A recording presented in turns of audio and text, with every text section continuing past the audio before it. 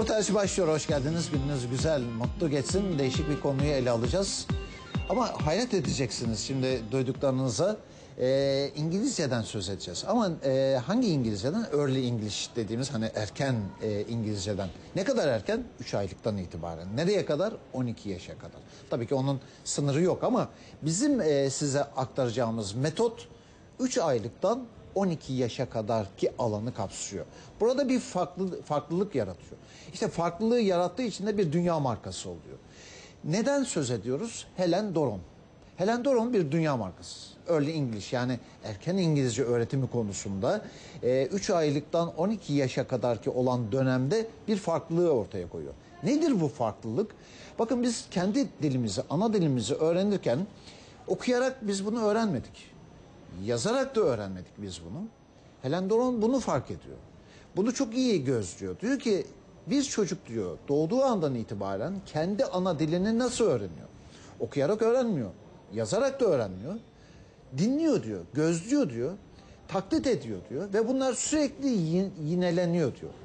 Kendi ana dilini böyle öğreniyorsa diyor yabancı dili de bu şekilde öğrenebilir diyor ve farklılığı ortaya koyuyor. Çok değerli konuklarımız var. De- e, değerli konuklarımız Helen Doron, Türkiye Satış ve Pazarlama Direktörü Sayın Burak Uçkun bizlerle birlikte. Hoş geldiniz. Hoş bulduk. Ve diğer değerli konuğumuzsa Dünya Markası. Bu alandaki Dünya Markası Helen Doron Eğitim Grubu'nun kurucusu ve CEO'su Helen Doron. Türkiye'ye hoş geldiniz. Çok teşekkür ederim. ne güzel. Önce Burak Uçkun'dan başlayalım. Ee, nedir? Gerçi e, Helen'e de soracağız biz bunu ama neden bunu seçtiniz Helen Doron? Ee, şimdi bizim kurumumuz EFINS e, biliyorsunuz yetişkinlere İngilizce konusunda e, 20 yıldır faaliyette olan bir kurum. Türkiye'nin en etkin ve en özgün kurumu. Evet yetişkinlerle ilgili e, çocuklar İngilizceyi çok kolay öğreniyorlar. Ama yetişkinler e, Kasılıyoruz biz. kasılıyor tabii. Yani o grameri öğretmek şey yani bir de şöyle bir şey var. 7 yaşına kadar çocukların öğrenme grafiği çok hızlı. 7 yaşından sonra bir sistematik bir düşüş var. Artık 18 yaşından sonra iyice e, yavaşlıyor. O oradan sonra İngilizce öğrenimi zorlaşıyor. Biz de bu e, konuyu Nun- Türk Türkiye'de bu konunun çok e, ihtiyacı olduğunu yani İngilizce eğitimi konusunda çok büyük ihtiyacı olduğunu görerek bunun da erken yaşta başlaması gerektiğini düşündüğümüzden e, Helen Doron'la e, böyle bir işbirliği yaptık. E, tabii dünyanın e, bir numaralı markası olması da Ne güzel bir şey ama. Bizim de, Kendi- yani evet. hangi işi yapıyorsan en iyi olmaya gayret edeceksin. Helen Doron da bir marka. Aynen değil mi? öyle, evet. Helen, e, how bu iş nasıl e, başladı? started? Ah, bu iş uzun 1900 zaman önce başladı. 1991.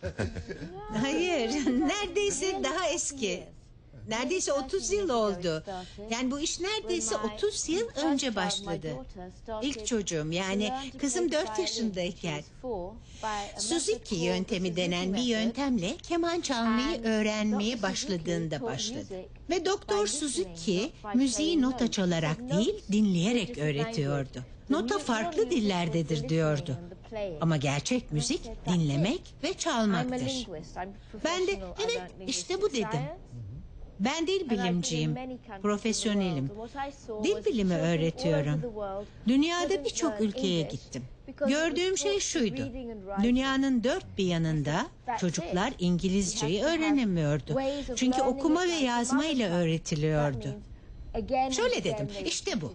Bu işi annelerin yaptığı gibi öğretmenin bir yolunu bulmalıyız. Yani defalarca duyma tekrarı lazım ve öğretmenler olumlu bilgi akışı sağlamalı. Kendini vermeli, çocukları sevmeli, onları cesaretlendirip motive etmeli. Çocuklara başarıyı göstermeli ki bunu yapmayı istesinler.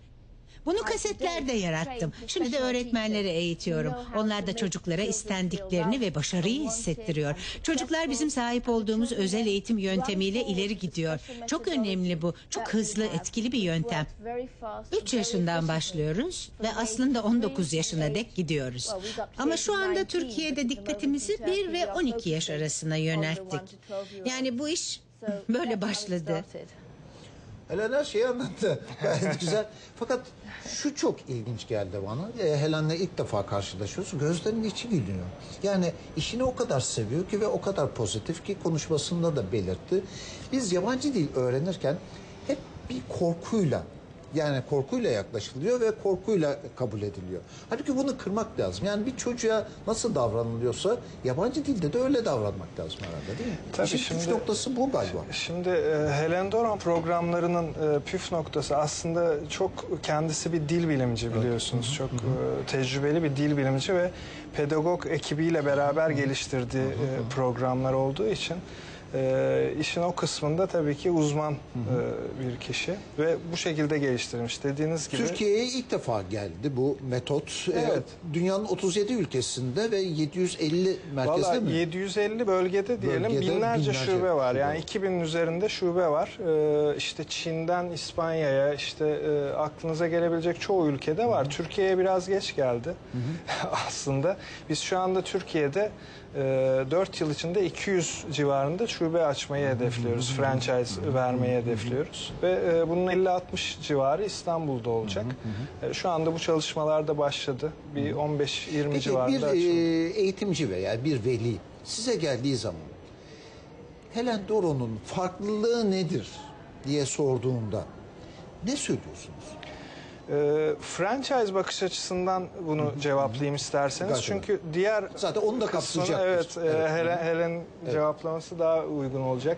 Ee, bence e, franchise açısından Helen Doron e, şubesi açmak ya da bir anaokulu, Helen Doron anaokulu açmanın e, avantajı bir kere normal anaokullarında açık konuşmam gerekirse işte İngilizce dersi var mı? Var. Dostlar alışverişte görsün. Öyle bir çocuk çocuğu eyleme durumu söz konusu. Ama Helen Doron'da e, görev alan bütün öğretmenler yurt dışından gelen özel teacher trainerlar vasıtasıyla eğitilerek Helen Doron metodolojisi öğretiliyor, aktarılıyor ve dünyanın her yerindeki Helen Doron şubelerinde aynı metodolojiyle ders eğitimi yapılıyor. Yani bir Çin'de kırmızı elma demeyi çocuklar nasıl öğreniyorsa işte Türkiye'de de Bakırköy'de de, öğreniyor. İskenderun'da da her yerde aynı şekilde öğreniyor. Helen, Helen, e, e, what age- Hangi yaşlara öğretiyoruz? Öğretmeye olabilecek en erken yaşta başlıyoruz. Aileleri 3 aylıkken başlamaları için teşvik ediyoruz. Çünkü bu bize en büyük fırsat penceresini sunuyor.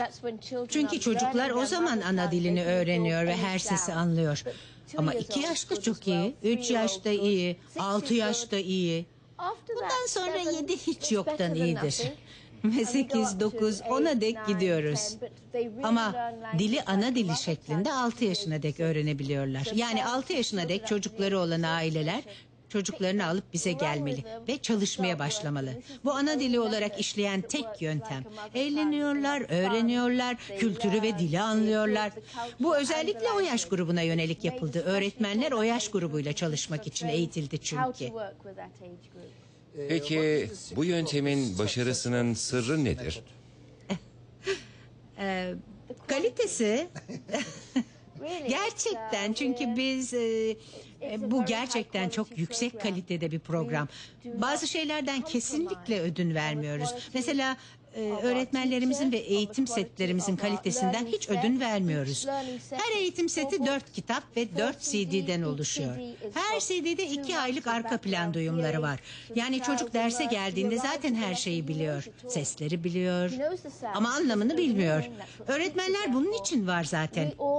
Öğretmenleri sürekli defalarca tekrar tekrar eğitiyoruz çünkü kendilerini devamlı geliştirmelerini istiyoruz. Gerçekten çok iyi acentelerimiz var. Eğitimle ilgileniyorlar.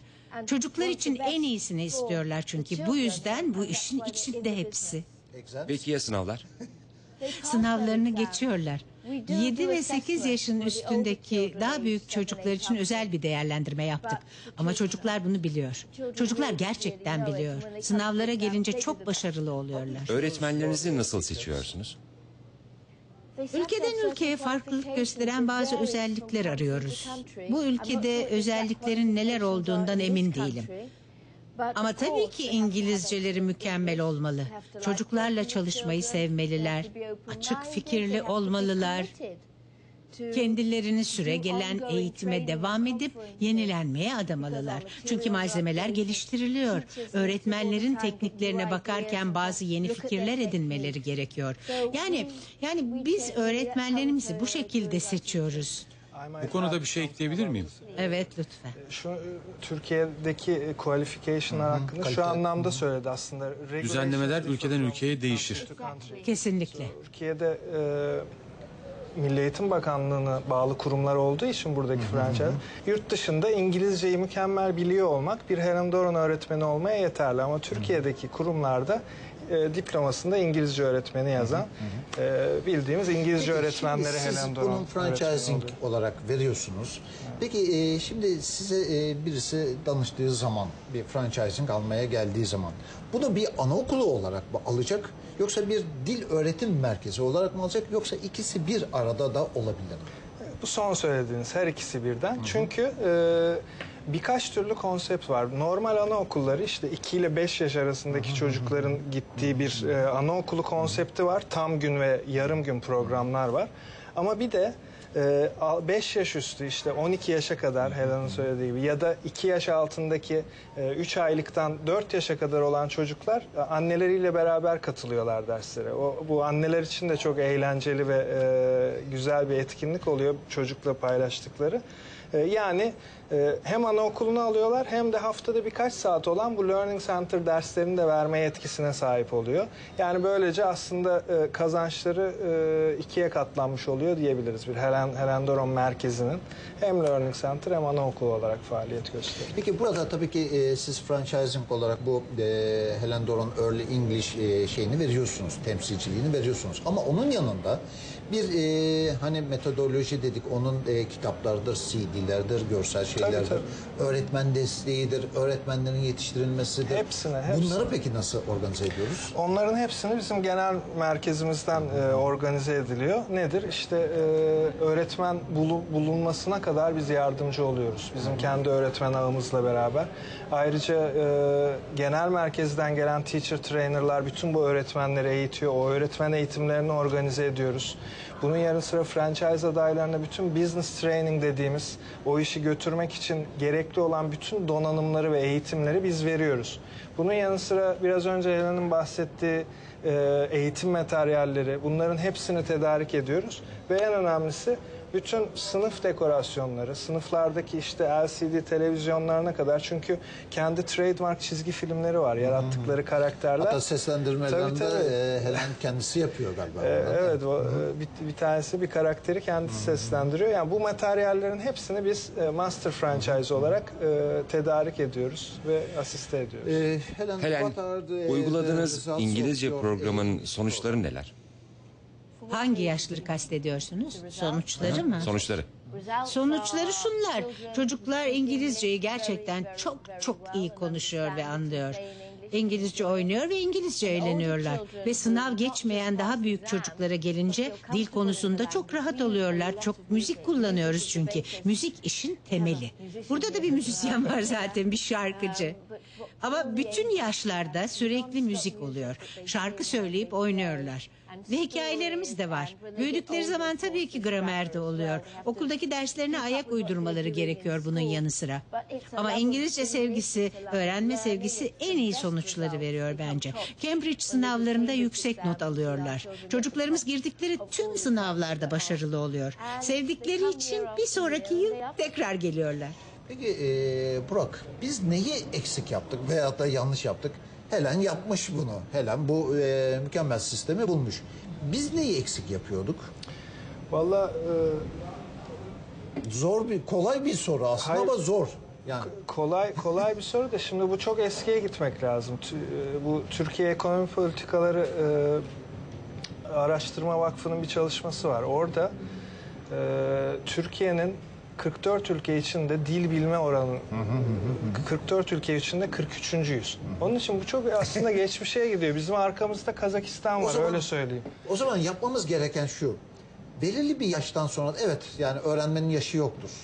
E, öğrenilebilir. Ama onu o zor noktaya getirmeden önce Çok klasik olacak ama işte ağaç yaşken Yaşken eğilir durumu e, Şimdiden ortaya çıkıyor. zamanında bizim yaptığımız hataları çocuklarımız da yapmamak Gerekirse 3 aylıktan itibaren onları bu işin içerisine sokmak. Aynen öyle. Bir de e, Türkiye'nin tabii bu geleceğine yatırım. Baktığınız zaman Türkiye'nin hem e, bölgedeki rolüne baktığımız zaman bu e, İngilizce yeterlik endeksinde bizim e, 43. sırada olmamız. Dünyanın en büyük ekonomileri arasında 17-18. sıralardayken e, dil yeterlik endeksinde İngilizce yeterlikte e, bu kadar aşağılarda olmamız aslında şaşırtıcı bir durum. Onun için bu yatırım aslında çocuklarımıza yatırım, Türkiye'nin geleceğine yatırım ve bu işin en kolay öğreneceği, öğrenileceği yaşlar e, bunlar. Bunu değerlendirmek lazım. Bu bilinci de velilere de aşılamak lazım. Ee, peki Helen, e, how do you- Öğrencilerinizi İngilizce öğrenmek için nasıl motive ediyorsunuz? Biz ilk olarak eğlendirerek, evde yemek yerken, oyun oynarken, yatağa giderken arka planda CD'lerden şarkı dinleyerek. Ve bize geldiklerinde öğretmenler o, onlarla etkileşime giriyor. Tamamen İngilizce ama. Ve bu şekilde dil içlerine işliyor. Başarıyı hissediyorlar. Ve başarı motive ediyor onları. Öğretmenler aldığı eğitimle çocuklarımıza geldikleri ilk anda başarılı olacaklarını aşılıyor. Aynı zamanda çocuklarımız kendilerine güvenerek konuşuyor. Çocuklar derslerimizden çok daha fazlasını alıyor. İngilizceden çok daha fazlası var. Sonraki eğitimlerinde her konuda kendilerine saygı duymayı ve güvenmeyi öğreniyorlar. Yani yüksek seviyede İngilizce öğreniyorlar. İstedikleri her yerde konuşabiliyor ve yazıyorlar. Kendilerine çok güveniyorlar. Ve bunun ötesinde motivasyona ihtiyaçları olmuyor tabii. Kendilerini motive edebiliyorlar. Çünkü çocuklar öğrenmeyi sever. Zorlandıkları ve mecbur tutuldukları zaman öğrenmeyi sevmezler. Ama eğlenmelerine, oynamalarına ve bu sırada bir sürü kelime, sözcük ve talimatı anlamalarına izin verdiğimiz zaman İngilizceyi otomatik olarak iyi öğreniyorlar. Çocuklar çok akıllı. Helen'i o kadar de- ders dinler gibi dinliyorum böyle. O kadar güzel candan anlatıyor ki, o kadar sev- severek ve sevimli bir şekilde anlatıyor ki ihtiyacımız olan yabancı dil e, öğreniminde e, bu olsa gerek. E, söylediği gibi her şeyin başı motivasyon. Öğretmenlerde de tek tek e, dikkat ettikleri iki şey var. Birincisi çocukları çok sevmek. İkincisi de o motivasyonun gözlerinden okunması. E ondan sonrası zaten geliyor. Yani metot zaten onu e, beraberinde getiriyor. Peki e, hani ben bir e, öğretim kurumu özel veya devlet ya da başka bir anaokulum benim daha önceden var. Ya da böyle bir lisan öğretim merkezim çocuklara veya genele e, var. Hani e, tümden değil de öğretmen veya metot e, transferi olarak yine size başvurabilir miyim? Ee, başvurabiliyorsunuz. Zaten e, şu anda oldukça yaygınlaştı Helen Doron franchise şubeleri. Ee, şöyle yapıyoruz o durumda. Mesela bir anaokulunuz var sizin ve çocuklarınızın Helen Doron metodundan yararlanmasını istiyorsunuz. Bize başvurduğunuzda biz şunu sağlıyoruz. Ee, Teacher training almış, sertifikasyondan geçmiş eğitmenlerimizi yolluyoruz sizin anaokulunuza. Onlar orada sizin çocuklarınıza, sizin mekanınızda e, bu eğitimi veriyor. Yani dışarıdan bir İngilizce öğretmeni kiralamanıza ya da işe almanıza gerek kalmıyor. Çok güzel. Programımızın sonuna geldik. Bugünlük de bize ayrılan süre burada sona erdi. Tekrar birlikte olmak ümidiyle sen kalın efendim.